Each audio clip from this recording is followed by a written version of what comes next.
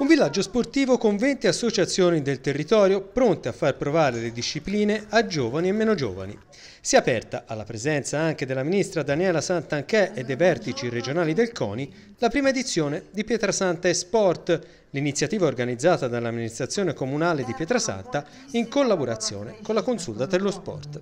Iniziano le due giornate importantissime qui in piazza 24 maggio, via Donizetti, piazzetta Amadei, tutto praticamente il litorale della Marina di Pietrasanta, di Tonfano in particolare, ehm, vedrà due giornate bellissime all'insegna dello sport, all'insegno dell'amicizia, all'insegno dei ragazzi, dei giovani, di coloro che vogliono avvicinarsi a questa disciplina. Un qualcosa di importante che eh, ci ritroviamo praticamente nella quotidianità perché si, si impara il rispetto, si impara a stare insieme, si impara il lavoro di squadra.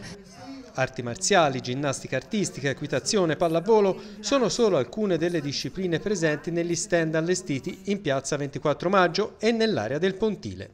Un modo per permettere ai ragazzi di poter testare le varie discipline concentrate in un unico spazio fruibile a tutti.